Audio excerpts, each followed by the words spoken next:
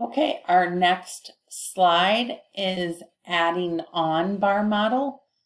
The problem reads, Sean orders 75 boxes of fruit on the first day. He orders another 84 boxes on the second day.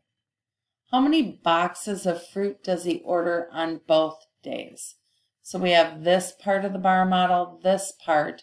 The whole thing together is the total, and that's what we don't know. Again, I'm going to solve this three ways. We can do it this way, 75 plus 84. 5 plus 4 is 9. 8 plus 7 is 15.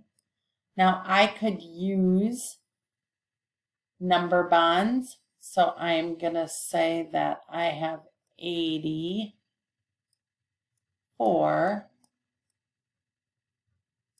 And I'm going to number bond this to 80, a friendly number, and 4. So I'm going to say 75 plus 80 equals 155 plus 4 gives me 159. So that's using number bonds. I could also solve it using a number line. I'm going to start with 80 4.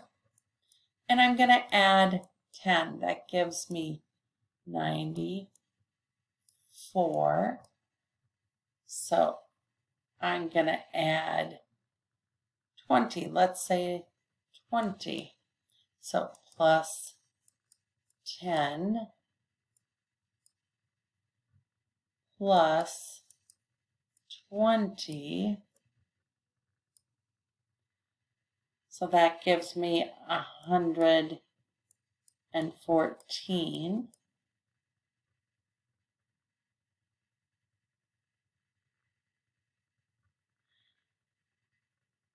Then I'm going to add 20 more. So that gives me 134. So now I have 20, 40, 50, and I need to get to 75. So if I add 20 more, that gives me 154, and now I just need to plus 5, and that gives me the 159. So that is using a number line to solve this problem. So three different ways to solve this problem.